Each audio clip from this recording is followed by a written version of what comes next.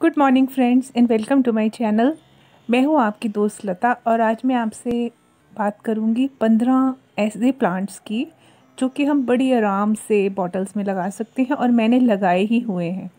तो सामने आप देखें मेरी बालकनी में, ये एक ग्रुप है प्लांट्स का और इधर से शुरुआत करते हैं।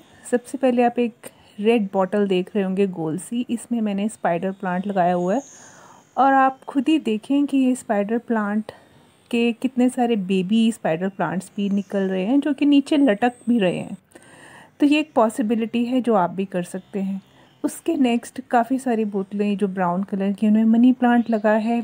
तीसरा जो आप लास्ट में रेड बॉटल देख रहे हैं, ये ड्रेसिनिया का प्लांट है, इसको हम सॉन्ग ऑफ़ इंडिया भी बोलते हैं। तो ये आप देखें, ज़रा सी जगह में आराम से ये सारे प्लांट्स लग गए और अच्छे खासे बढ़ भी रहे हैं। तो आप भी कोशिश करें कि प्लास्टिक की बॉटल्स को फेंकें नहीं, उनमें बड़े आसानी से आप छोटे मोटे प्लांट्स लगा सकते हैं। तो चलिए फिर आगे भी देखते हैं, प्लांट नंबर फोर।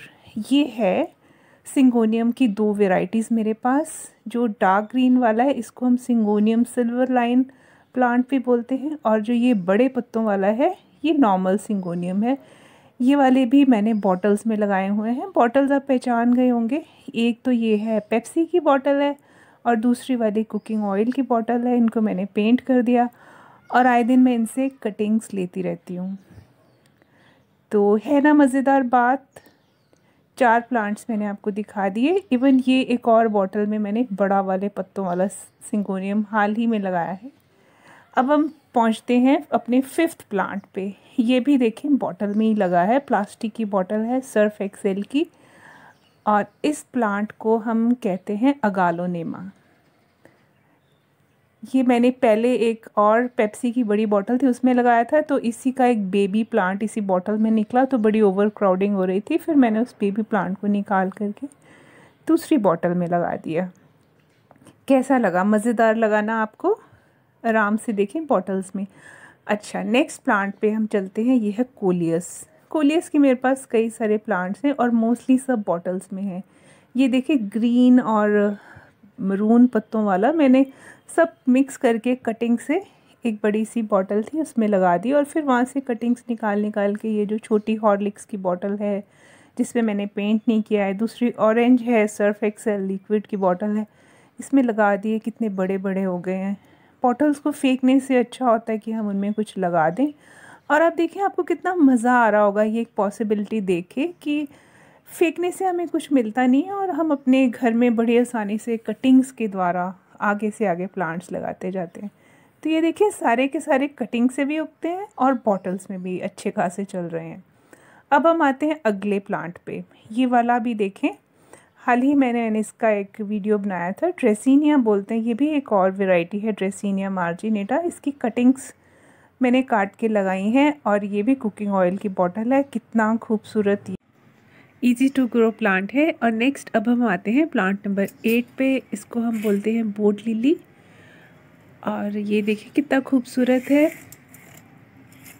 ये मैंने ऑयल केन की बेस को काट के लगाया है और ये कुछ और Surf Excel liquid detergent bottles हैं। उन बॉटल्स को भी रिसाइकिल करके ये मैंने रोहियो के प्लांट या बोट लिली कहते हैं, उसको, ये सबको लगाया है। और आप ये देखें, यहाँ इसके बेबीज़ भी आ रहे हैं छोटे छोटे इस तरीके से ये प्लांट आगे से आगे बढ़ता जाता है और अब हम हम इस, इन बेबी प्लांट्स को भी काट के, निकाल के दूसरे गमले में लगा सकते हैं और कटिंग से भी लगा सकते हैं।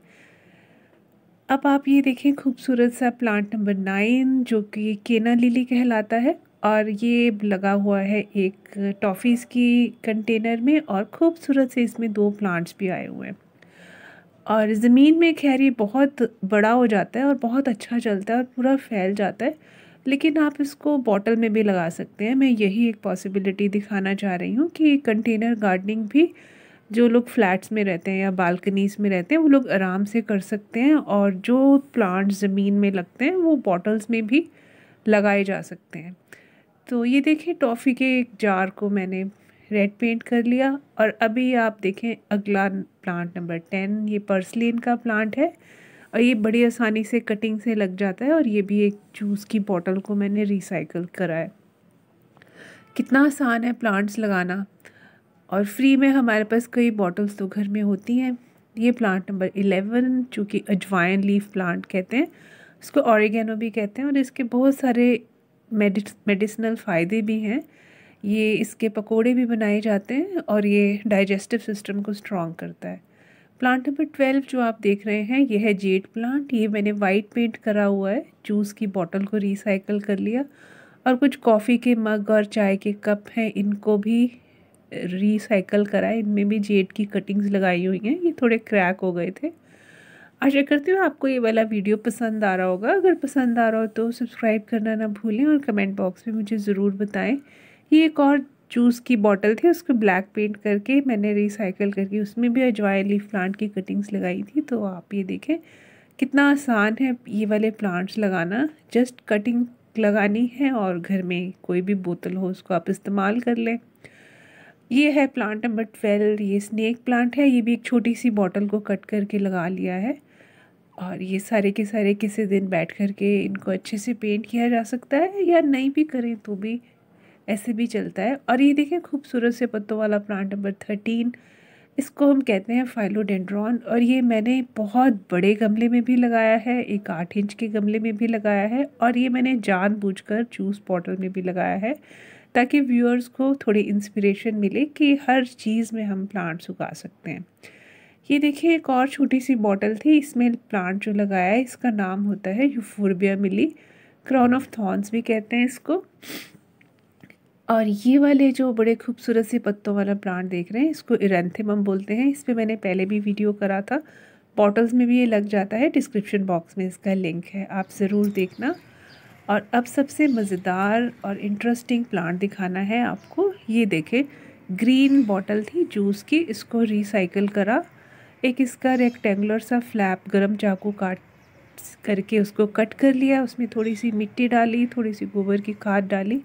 और ये मैंने छः आठ महीने पहले छोटी छोटी कटिंग से लगाया था। कलांचो इस प्लांट का नाम है और आप ये देखिए कितना बड़ा हो गया है। कितना बड़ा हो गया। ये ऐसे लग रहा है जैसे कोई बोनसाई हो। और आपको अगर ये सारा अच्छे लग रहे हैं तो सब्सक्राइब करना ना भूलें और आपको एक चीज़ और बतानी है कि ज़रा सी जगह ये घेरता है। ज़रा सी बॉटल है और प्लांट इतना बड़ा हो गया, यहाँ से हम आगे कट करके भी लगा सकते हैं। तो आई होप आपको ये सारे के सारे आइडियाज़ अच्छे लगे। कमेंट बॉक्स में मुझे ज़रूर बताना कि आपको प्लांट्स लगाने की इंस्पिरेशन मिली कि नहीं। और वीडियो देखने के लिए बहुत बहुत शुक्रिया। फिर मिलते हैं किसी और दिन, किसी और नई इंटरेस्टिंग जानकारी के साथ। तब तक प्लांट्स ज़रूर लगाते रहें और अपनी सेहत का ख्याल रखें। Thank you